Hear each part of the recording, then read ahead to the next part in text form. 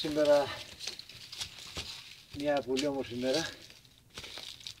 Την πέρασα με τη Λίζα. Δούλεψε πάρα πολύ καλά. Δεν είχα πολλά πουλιά. Έξι φέρμες μου έδωσε.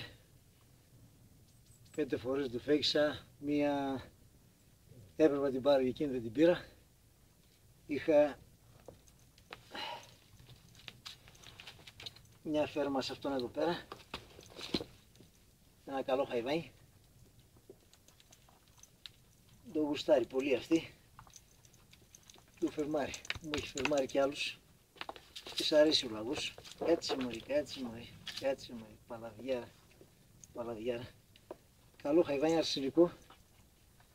Κάτσε, κάτσε, κάτσε, κάτσε, κάτσε, κάτσε. Κάτσε, κάτσε, κάτσε, κάτσε. Και φυσικά ήταν καταδίκη αυτό γιατί το χτύπησα στις 9 το πρωί και η ώρα είναι 5 παρά 20. Μέχρι τώρα χαμαλίκι πολύ.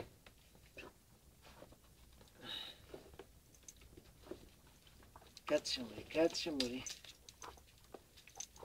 Κάτσε μωρή.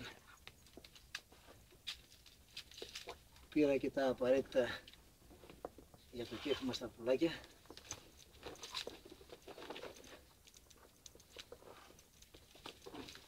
Τετάρτη σήμερα κόσμο πολύ δεν έχει το βουνό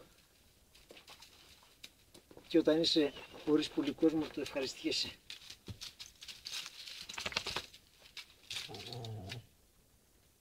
Αυτά ήταν λοιπόν τα αποτελέσματα τα σημερινά.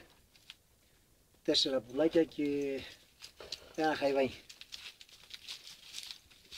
Ξεκινήσαμε. Άντε για βρε. Α, άντε.